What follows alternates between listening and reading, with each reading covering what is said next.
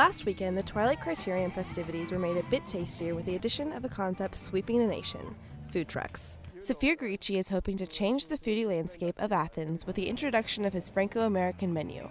We have a chance to create with the new, the, with the, the, food trucks already uh, here and hopefully new ones in the future to create a real food truck and street vending scene in Athens.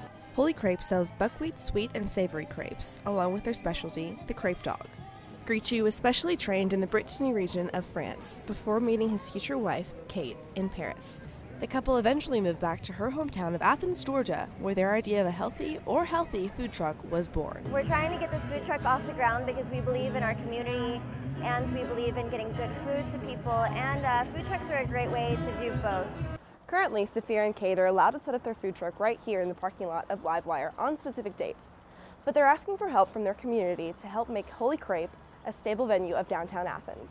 Holy Crepe has created a Kickstarter campaign to raise $16,000 by May 7th to pay for the dump station and commercial kitchen required by Georgia health regulations. Their support from Livewire has made it possible to create a foundation of fans in the past few months. Big supporter of them and definitely excited to get something like that on premise here. Saphir and Kate are hopeful that they will be able to raise enough money to become a staple of Athens' unique food culture, regardless of the challenges they've faced. I know it's a risk to try to start here, but I really wanted to take this risk at, at least to have this, this possibility to live here in Athens. The future for the spread of food trucks in Athens appears to be an uphill battle, but it's one that Saphir and Kate are prepared to fight in order to build a bridge between French and American culture, crepe by crepe. Danielle Herman, Grady News Source.